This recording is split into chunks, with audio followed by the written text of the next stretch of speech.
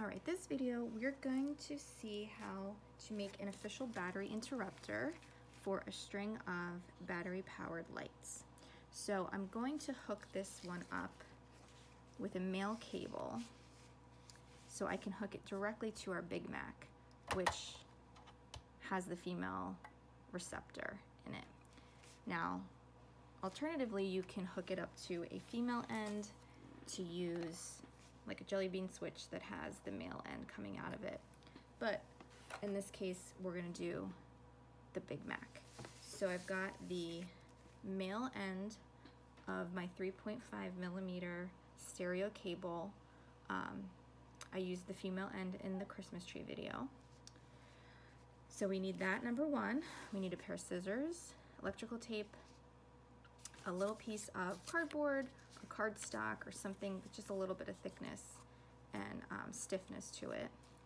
We need a metal file because we're going to use this to shave down some of the plastic in the battery pack just so our battery interrupter can sit in there nicer. And we need copper sticky backed paper. So I got two big sheets on Amazon for nine bucks. And if we make battery interrupters, we can make a bazillion battery interrupters out of this. Okay, so the first thing we're gonna do, we're gonna make sure our lights work, all right? We have an on-off switch. We can make an official battery interrupter with this. We have our male cable. The two wires inside are already stripped.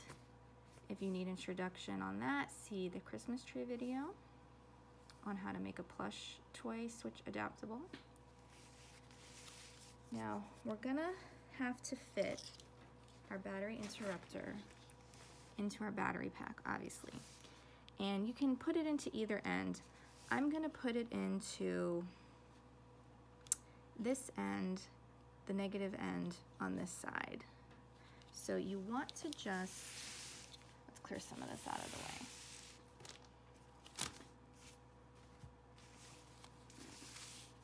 Rip a piece that's gonna fit. And you're gonna cut this down multiple times. But I'm just gonna do a little circle.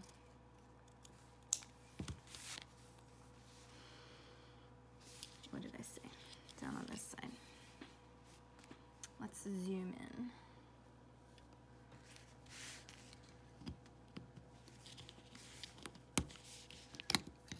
So I'm just gonna see if this fits kind of all right.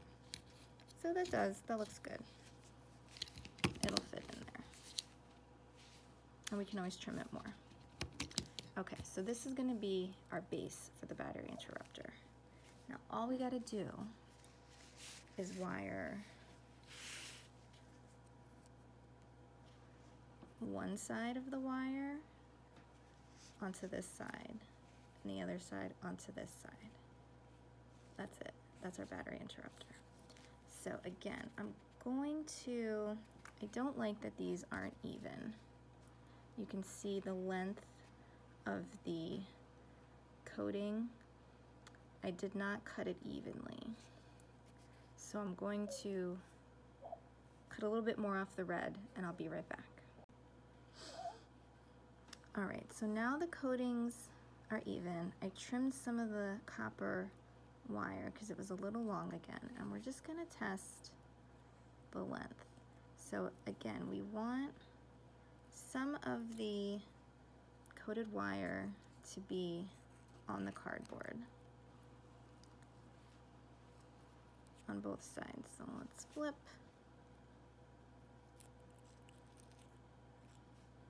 I still feel like this is a pinch long because we might be trimming the cardboard. So I'm just gonna trim back another little bit of the copper wire. Okay, so now we're gonna take some of the copper sticky backed paper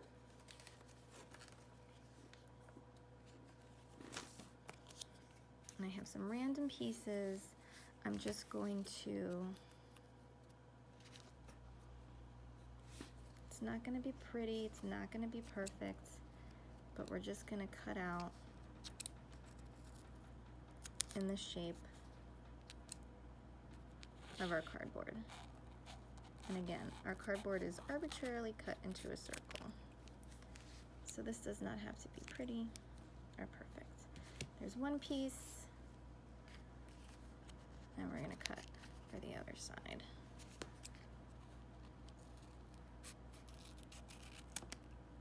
Oh, I keep going on a screen.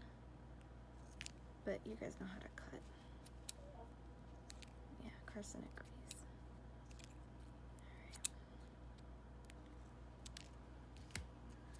So now, let's get this out of the way. We've got our two sides.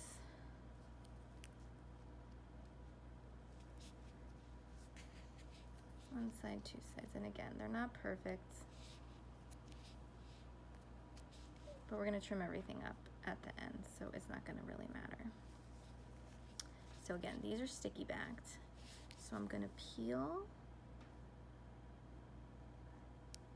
I'm gonna get it going and I'll be right back. All right, so I got both of the sticky backs started peeling off. We're gonna take one side of the wire, copper wire, and we're gonna put it on our piece of cardboard. We're gonna peel the sticky back off and we're gonna stick our copper paper on. Now we're overhanging, just trim it up. Let's flip it over so we can see all that extra. We want to trim it off because we don't want this to touch the other side. I've done this a few times and I feel like it's just easier instead of killing yourself trying to make the circles perfect. Just doing this, trimming once you get it on there. It's a lot easier. All right. So now we're going to stick the other wire on the other side. We're going to use our other piece, copper paper, and just stick it on. And again, it's not pretty. It doesn't even cover all the cardboard, but no big deal. We're just gonna trim it up.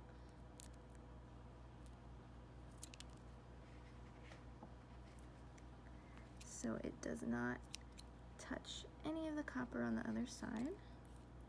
Oh, I keep going out of screen. I am sorry.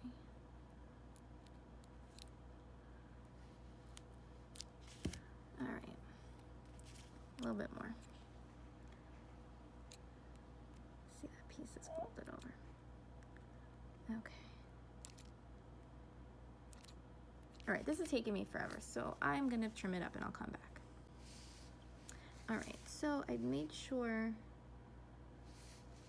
I don't even know if you can see, that none of the copper from either side is touching the other side. All right. So now let's see if we can nicely fit this in our battery pack. All right, so that looks like it fits pretty good. It's gonna stay in there. All right, so actually, let's test I've got our male ends. I'm gonna hook it into our Big Mac. Let's zoom out. All right, which one do we want? Switch, I think. Turn this on.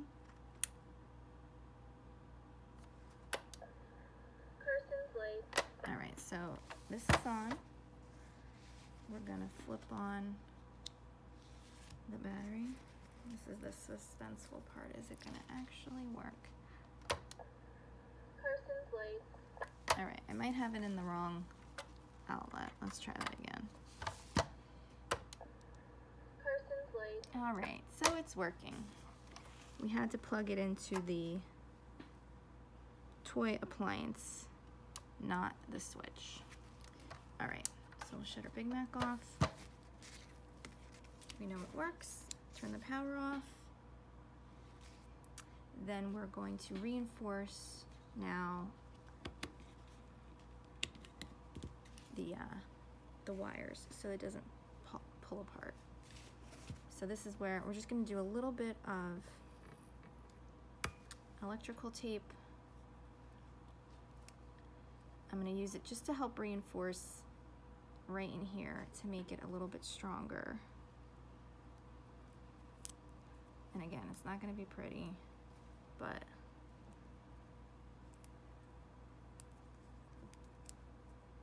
we need a little bit of extra security. Now you don't want to tape over, obviously, all of the copper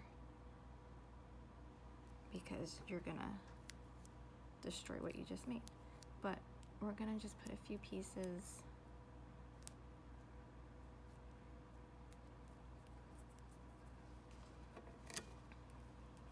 put a little bit more down here. Let's do it this way. All right, so now let's put this back into our battery pack.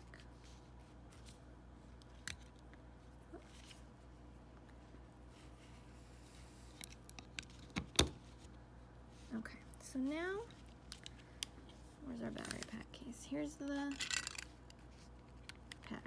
But obviously, we can't close it up nicely because now we've got this wire sticking out. So I'm going to use the the metal file to just make an indentation in there. So we're gonna pop this back out, get this out of the way. I'm actually gonna pop both batteries out. And we're just going to rub, let's get all this out of the way because we're gonna make a mess. I'm just gonna pull the file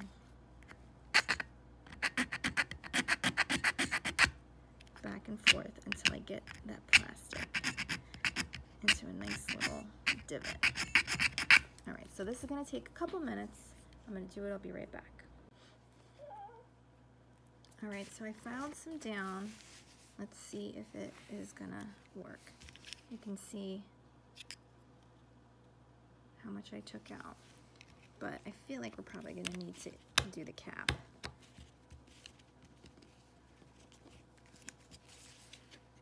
I mean, it's, I made a nice little indent, but I think the way that this battery pack is,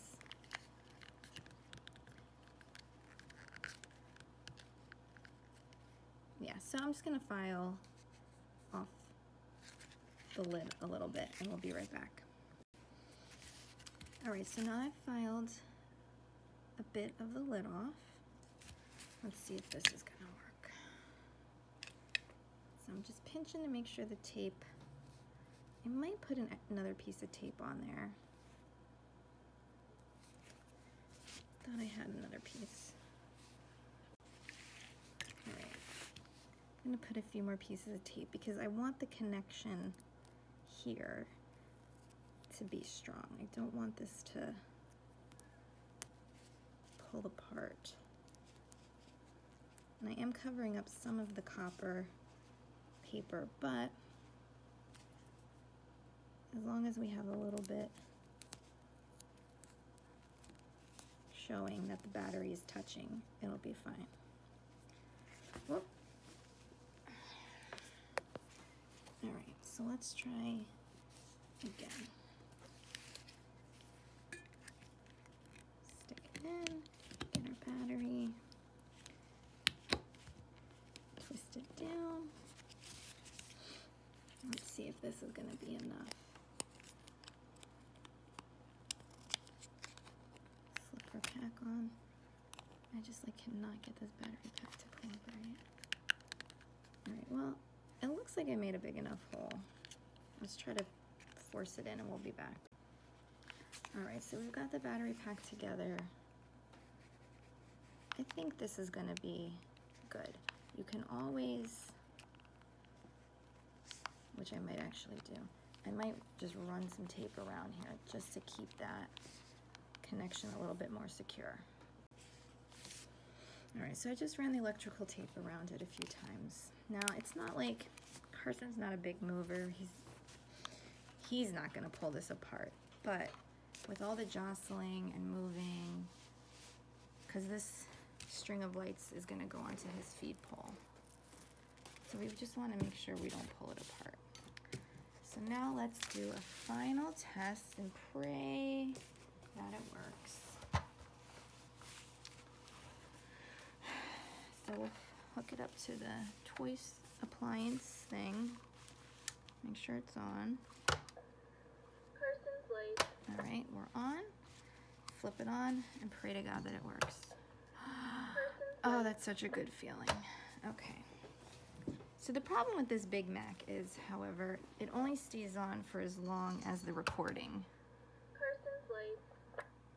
and it flips off. So that's something I'm gonna have to work on.